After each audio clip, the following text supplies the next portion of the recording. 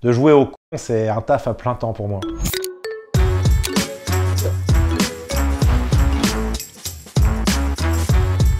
Les piégés sont triés sur le volet euh, sur la condition première qu'ils ne me connaissent pas, à part une fois où on a eu un problème, effectivement, c'est le, piège de la guide château. Le jour du piège, eh bien, c'est là qu'elle a regardé euh, les épisodes du pire stagiaire. C'était un fiasco total. On avait déplacé euh, une vingtaine de personnes, une vingtaine de comédiens complices. On avait toute l'équipe technique.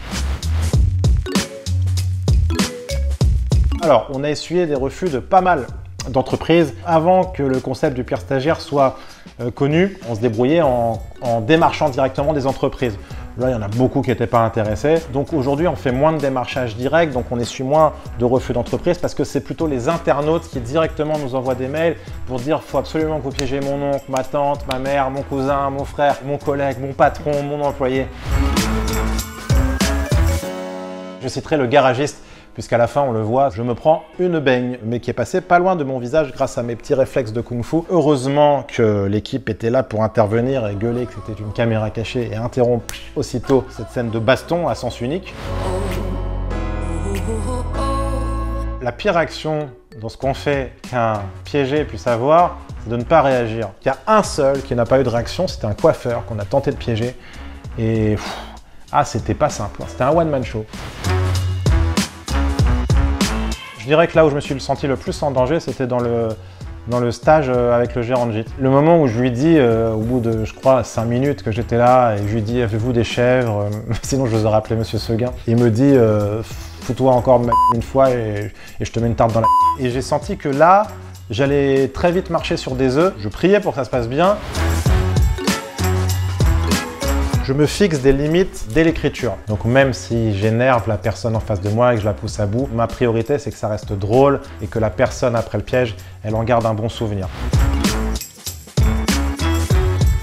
Il y a des endroits, par exemple, où on évite de faire des pires stagiaires. On s'est posé la question, est-ce qu'on doit faire un pire stagiaire en hôpital? Est-ce qu'on doit le faire en maison de retraite?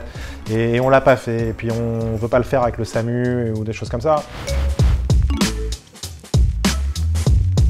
On a mis très très très longtemps à faire ce nouveau Prime, euh, à le produire vraiment, ça nous a pris euh, vraiment six mois et c'est pour trois pièges. Donc dans ce Prime là, il va y avoir trois piégés, il y aura un installateur d'alarme, euh, une femme médecin et un rappeur. Comment innover? Effectivement, on essaie de trouver des métiers qu'on n'a jamais fait. changer de profil, on essaie de faire en sorte que ce ne soit pas des profils qu'on ait déjà eu. On essaie de faire des gags qui ne tournent pas en rond. Si vous regardez bien les épisodes du stagiaire ou même d'autres caméras cachées, on voit le rictus. Les gens qui me connaissent bien, ils savent. Ils savent quand je vais rigoler. Ça me décrédibilise pas spécialement parce que je joue tellement un dingue que du coup ils se disent ok, il n'y a rien à faire pour lui, il est perdu le pauvre mec.